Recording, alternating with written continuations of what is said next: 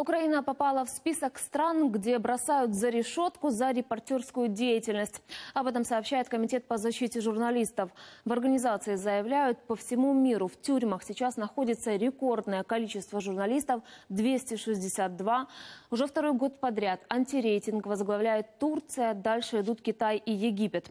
А вот Украина среди новичков в одной компании с Камбоджей, Сомали и Пакистаном. Перш за все має бути демократична культура у правоохоронців. Вони повинні е, всі свої дії, якщо вони хочуть прийти з обшуком в редакцію, з обшуком до е, журналіста, пред'явити йому претензії, то вони повинні все одно. Виходити суспільства і обґрунтовувати, виходити загалом до журналістської спільноти і говорити, чому вони підозрюють того чи іншого журналіста, чому вони приходять. Має бути забезпечено право адвокатів. А ми бачимо, що відповідно порушуються права журналістів на захист.